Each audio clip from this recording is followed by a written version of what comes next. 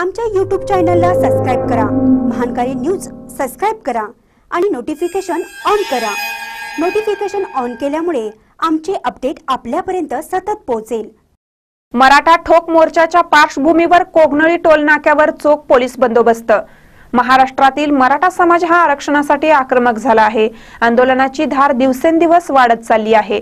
या पार्श्वभूमीवर निप्पाणी पोलिसांच्या वतीनं चोख पोलीस बंदोबस्त ठेवण्यात आलाय.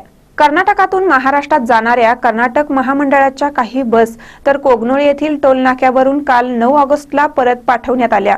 मराठा ठोक मोर्चामुळे सीमा भागातही मोठा फरक जाणवून येत आहे. या आरक्षणाला पाठिंबा देण्यासाठी सीमा भागातील काही लोक कोल्हापूरला रवाना होताना दिसत आहेत. या टोलनाक्यावर निप्पाणी सीपीआय किशोर भरणी निप्पाणी टाउन पोलीस स्टेशनचे उपनिरीक्षक H D Mulla Khadaklat police स्टेशनचे उपनिरीक्षक बी जे सुबप सुबरपरमट यांच्यासह मोठा पोलीस बंदोबस्त ठेवण्यात आला आहे.